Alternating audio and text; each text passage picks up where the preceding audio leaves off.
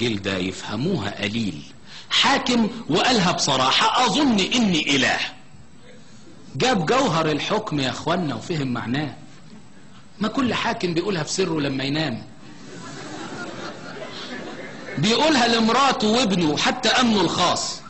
لكني أشهد بأنه أشجع الحكام. زعها على الناس صراحة والأئمة معاه. يا أهل مصر أنا من اليوم إله وإمام. شجاع ومؤمن بنفسه بس مسه الخوف. شافوه وايده بترعش والعرق بيسيل بصوا بمحبة وقالوا له طب يا عم خلاص إله ونص عشان تبقى بتلات تنصاص وأيدوه قصة تانية في دفتر القصاص. ما كل حاكم كده بس العتب عالشوف لا أدري يعني أعتقد أن الذي يبرز أو يخفي هو الناس. يعني إن لقي كلام الشاعر عندهم صدى فذلك يبرزه وإن لم يفعل فذلك يخفيه. وهم الحكم.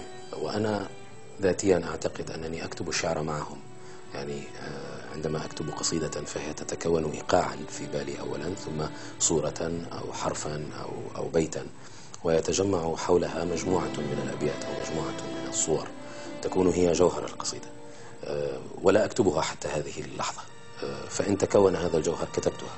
ثم قرأتها على الناس. ثم أقرأها من على وجوههم. ولا تزال القصيدة تتغير. إما حذفا أو إضافة أو تعديلا مع كل مرة قراءة حتى تبدأ قصيدة أخرى في البال. ولذلك فهم يكتبونها معي.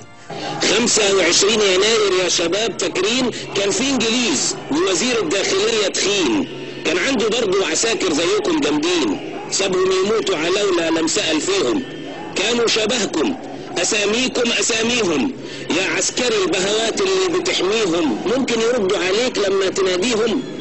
يا عسكري أنا أصلي بس بستغرب. لو لاقي تاكل وتشرب قوم يا عم اضرب اضرب عشان الوزير من ضربتك يطرب لكن هتشتغل إيه لما الوزير يهرب قصيدة القدس. قد إيه الموضوع يعني لأنه موضوع القدس بأثر شوي زيادة بالعالم أو في شيء مختلف بكتاباتك يعني. كيف كيف بتلاقي تفاعل العالم بالنسبة لهذه القصيدة؟ هذا هذا أمر يدخل في مجال النقد. ولذلك لست أنا المختص به.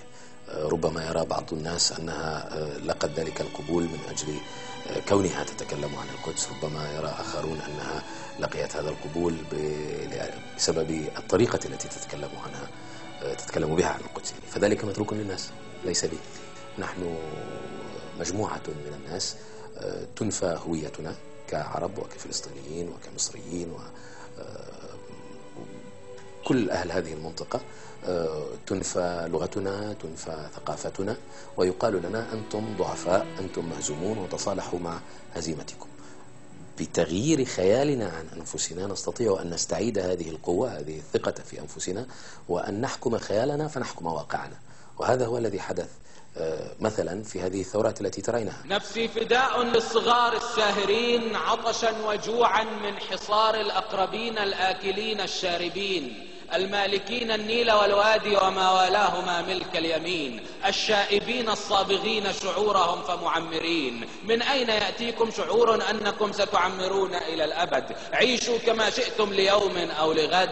لكن لكنني صدقا أقول لكم فقط من أجل منظركم وهيبتكم. إذا سرتم غدا في شاشة التلفاز سيروا صاغرين. قرر الناس فجأة أنهم أقوى مما كان يقال لهم. لم. لم تتغير ال... ال... ال... الحقائق الموضوعية للمصريين أو للتونسيين قبل الثورة بيوم.